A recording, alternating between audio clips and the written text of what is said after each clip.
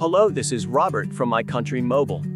Call centers provide organizations with an effective and convenient way to solve customer problems or address their needs.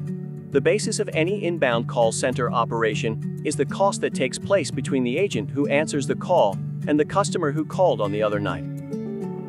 There are three elements to any inbound call center call agents would need to be trained on first opening the call when a call arrives and the agent picks it up. They will need to greet the client and introduce themselves. Second, the call button and the main part is the focus. Listen, understand the customer issue, and address it properly. Third, closing the call before closing the call with the client. If you are interested in the inbound call center, please visit My Country Mobile and get your 30 days free trial.